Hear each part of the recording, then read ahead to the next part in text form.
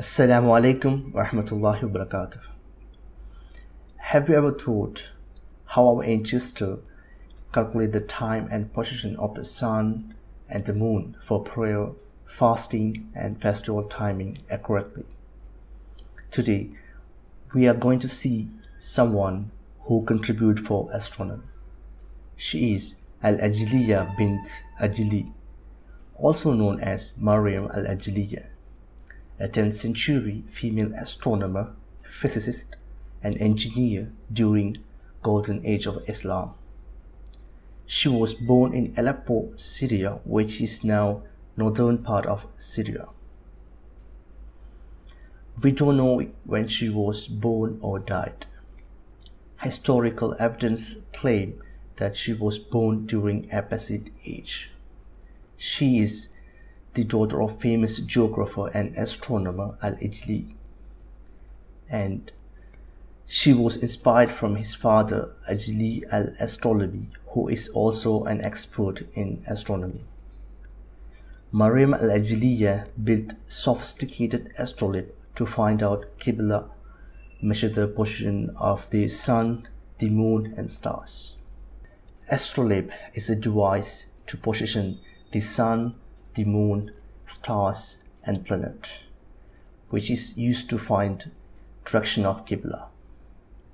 On top of that, it can be used to measure celestial events too. We're not going to see the mechanisms of astrolabe.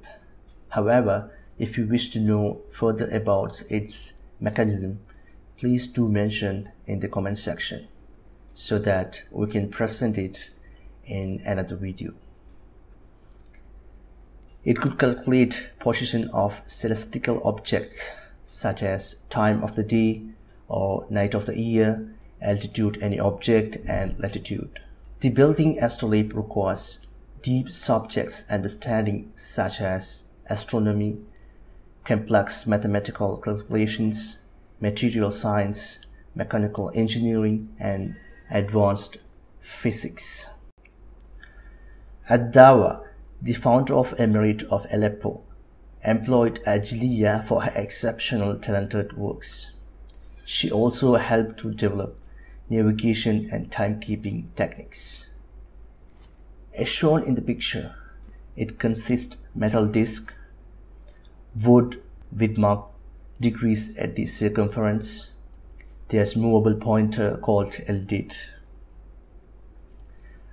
After observatory by Henry E. Holt at Palomar in 1990, the contribution of Mariam to astronomy officially recognized by the title Al-Ijliya after her name. In 2016, science fiction writer Nnedi Okorafor's novel called Binti, in which the central character was Mariam Al-Ijliya, received the Nebula Award.